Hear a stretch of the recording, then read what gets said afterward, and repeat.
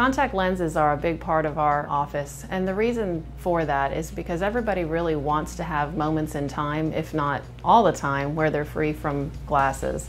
Some of our patients wear contacts part-time, some of them wear them full-time, and I think the important thing for our patients to know and for anybody who wants to come to our office to understand is that contacts are for everybody. Children are totally fine in contact lenses.